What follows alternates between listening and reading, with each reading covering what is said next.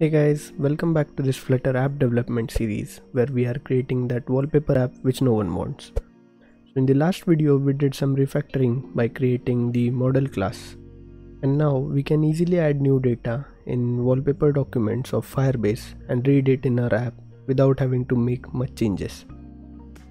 For this video my original plan was to work on the UI part of category wallpaper class but then last week I got a comment asking to show how to download images in this app. And I said sure why not. So in this video I'll be implementing a way for users to download images to their devices. And my plan is to add that option in wallpaper gallery widget right next to this apply wallpaper button. So let's get started. For this we will need two packages.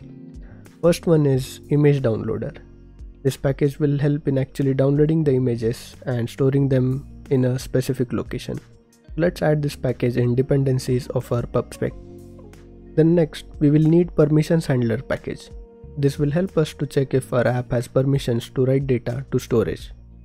I'll copy this dependency to PubSpec as well and then I'll save these changes. This will start the pubget and while that is running let's see what additional changes we need to make for these packages to work. So let's see readme tab of image downloader first. Since I am on Android I'll follow the steps specific to Android. So this says that we need to add this permission in our android manifest.xml. I'll copy this and then I'll navigate to android manifest.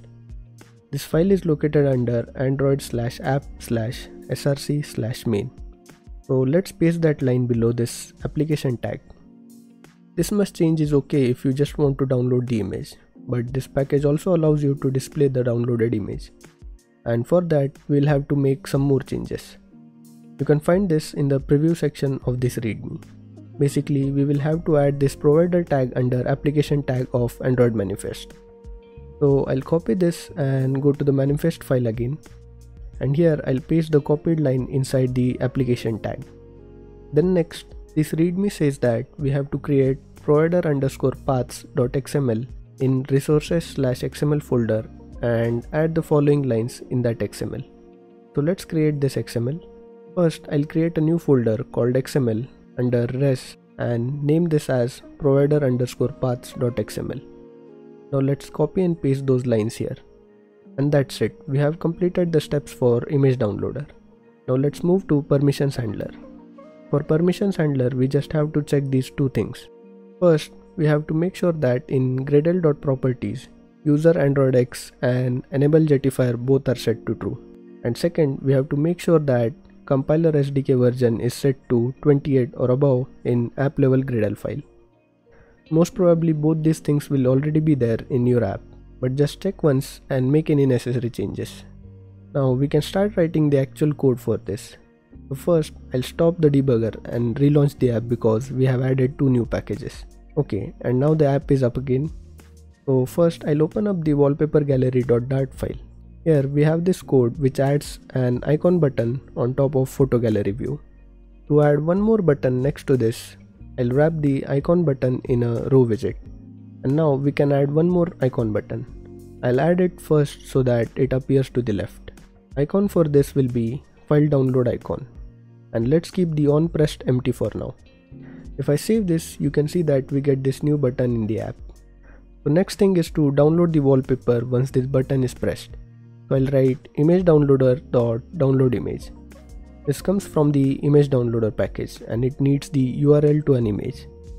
We already have written the code to get the URL of current wallpaper using page controller. So I'll copy that same line and paste here. If you check the documentation of download image, you'll see that it returns a future of string.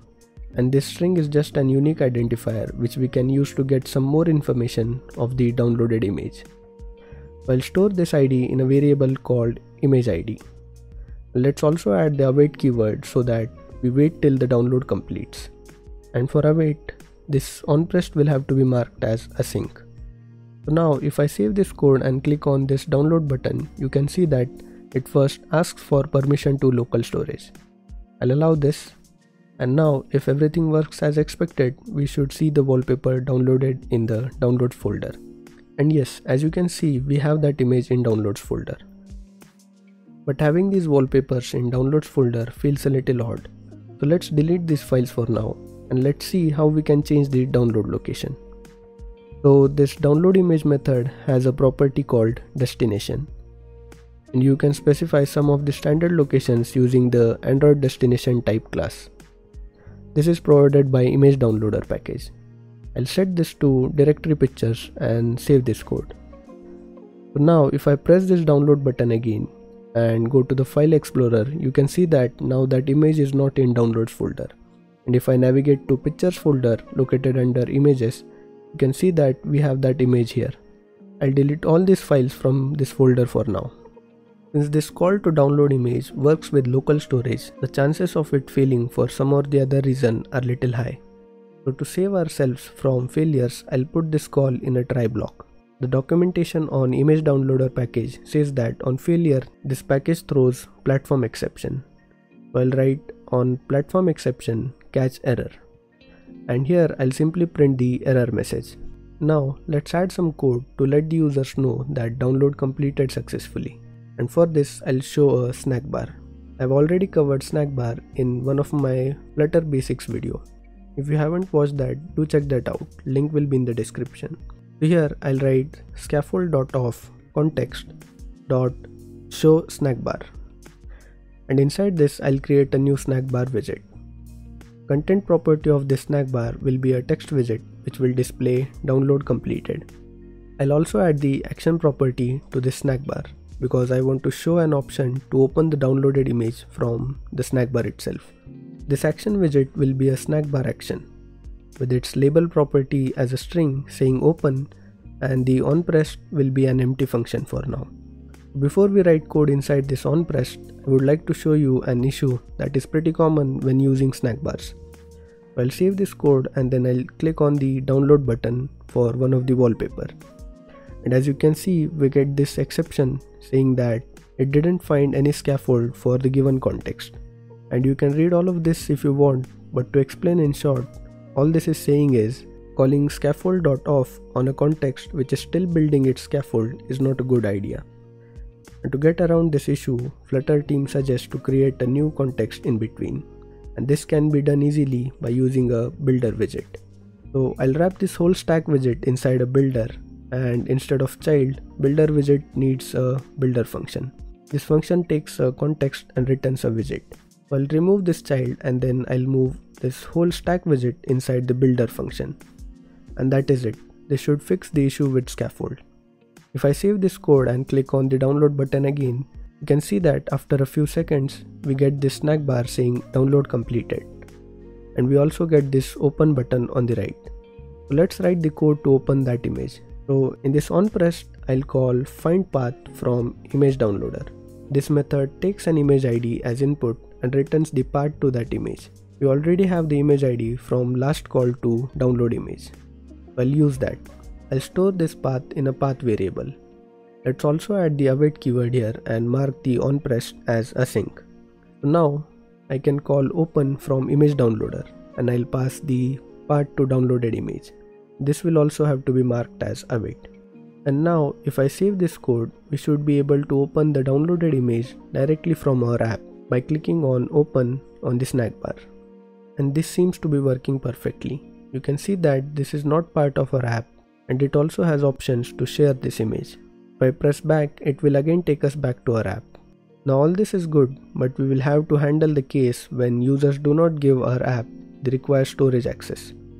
In such case, calling download image will throw an exception, but we can easily avoid that by checking the storage permissions. For that, I'll use permission.storage.request. This comes from the permission handler package. I store the status of this request in a variable called status. This will also be marked as await because we do not want to proceed without getting the status. Next, I'll check if the status of this request is granted using an if check. So if permission to storage is granted, then we can proceed with image downloader. So all this code will go inside the if block. And now in the else block, I'll write some code to tell users that we need access to storage for downloading wallpapers. For this, I'll be using an alert dialog. I've made a separate video on alert dialog too and link is in the description. So to show an alert dialog, I'll use the show dialog method. This method needs a context and a child. For the child, I'll create a new alert dialog widget. Title property of this widget will be a text widget saying need access to storage. And then I'll use the actions property to display two flat buttons. The first one will be a text which will display open settings the second one will display cancel. On pressing the second button, I'll simply call navigate.pop so that alert dialog just goes away. And inside the on pressed of first button, I'll call open app settings. This function comes from permission handler package and it opens the app settings for current app. This will allow users to manually change the permissions if they have permanently denied them. So to see how this works, I'll first stop the debugger and then I'll uninstall this app. Once that is done, I'll relaunch the debugger. This will install the app again in its default state. And now if I go to wallpaper gallery and click on download button, we will again get this pop-up asking for storage permissions. But if I deny this, we'll get our alert dialog with the two buttons. If I click on cancel, the alert dialog will go away and nothing will happen. I'll do this one more time. And now when I try to download wallpaper for the third time, it will not show the allow and deny dialog because now the permission has been permanently denied. But since we have written code to handle such cases, our app will still show users this alert. And now if I click on open settings, we'll be taken to the settings page of our app.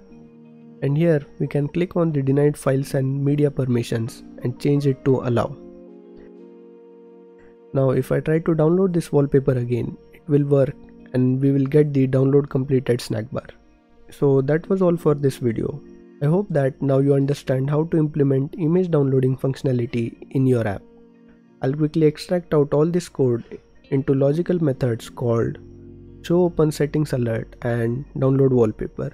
This will make it easier for us to understand this code in future. If you want to see the final code, it is available for free on my GitHub.